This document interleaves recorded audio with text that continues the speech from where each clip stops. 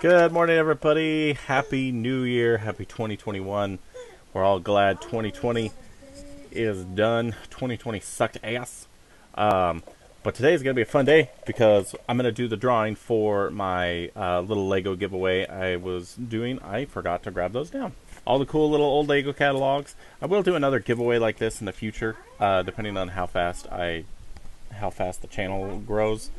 Um, but yeah, I, I seem to get I had a good amount of excitement over this stuff, which is uh, really cool. I only got six comments on the video, which is perfectly fine. I know I'm like a little tiny baby channel. Actually, read the comments real quick before I do the drawing. Um, so we got uh, Jace Jace Michael Turner here. He commented first. You were first. Congratulations. Uh, and then Smack Dab. Well, just yesterday I was rooting around my mom's house in search for those booklets with zero luck. Congrats on 300 subs. Thanks, man. Uh, all those catalogs and flyers, or, or uh, PX Chris. I love all those catalogs and flyers so much. Just giving me nostalgia and vibes. Yeah, that's why I like them too. All the nostalgia and vibes. Uh, Brett Hopper, loved your video of you exploring Bricks Cascade. Love the building creator module buildings. Thanks for your comment there. I really liked Bricks Bricks Cascade too. That was a lot of fun. I hopefully we'll do more. Brody Archer comments: Do Bionicles count? They were my favorite. Bionicles were pretty cool. I never got super excited into Bionicles, but they were still pretty pretty cool. Uh, pretty cool ones. Uh, and then Jeffrey down Jeffrey's the last comment here. Love all the Lego ads. Uh, I'm a Forest and Castle fan. Basically, any of the other uh, stuff we collect, of course. Castles were really cool. They were my they were kind of my second. They were kind of my second favorite uh, because I loved I loved all the medieval like wizards and stuff. I thought were were definitely really cool stuff. But space space stuff, space themed Legos have always been uh, true to my heart here. So uh, I felt like the fairest way to do this was I just wrote, uh, took little six pieces of paper, wrote one through six on them, uh, and I'll just draw draw a name or draw draw a number, and it'll go through.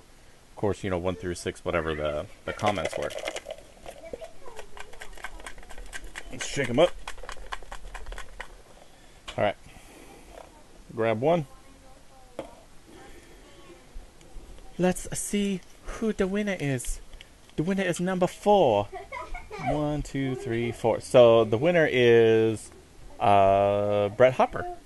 Brett Hopper, you are the winner of my cool little Lego drawing. Uh, I'm going to message you before I even post this video. Um, I'll give you a few days to message me back to give me your address and stuff, and then of course give me some give me some time because life is still insanely crazy to actually mail it out to you. It shouldn't take me that long to mail it out. Just got to get an envelope and like a big envelope, right, and shove it all in there. Um, thank you guys so much for entering my contest, commenting on it. This is actually probably the most successful contest that I've done on the channel. Uh, so I really appreciate uh, everybody commenting and stuff. So it's been a lot of fun. I've been having a lot of fun doing a lot of Lego vids. I got some really cool Lego sets um, for Christmas that I'm gonna build for you guys very soon on the channel. Might even see something posted uh, this week, hopefully. So again, thank you so much for subscribing. Thank you for entering the contest. It means the world to me. Um, so please like, subscribe for more contests, Lego videos, and all sorts of random cool stuff. I have a lot of figures and stuff I need to open too that I got for my birthday this year that I haven't done. So those will be more content and videos coming as well. Thanks again for watching. Until the next video, please be kind to each other, and I'll see you guys next time. Logical high five.